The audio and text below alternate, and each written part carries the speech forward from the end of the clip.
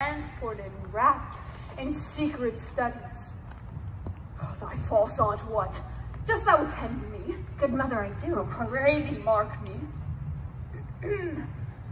I, thus neglecting worldly ends, all dedicated to the closeness and bettering of my mind with that which overprized all popular rate in her awakened an evil nature. And, like a good parent, I did beget of her a trust as great as her falsehood was. She did believe she was indeed Duchess, and out of proper execution and substitution of all prerogative, hence her ambition growing. Dost thou hear me?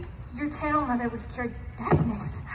I, poor woman, my duchy was library full, large enough of temporal royalties. She thinks me incapable. Confederates with the Queen of Naples over annual tribute. Alas, poor Milan. Oh, the heavens. Mark the condition, and then tell me if this might be a sister. I should sin to think that nobly of my grandmother. Good wombs have borne bad ones. Now,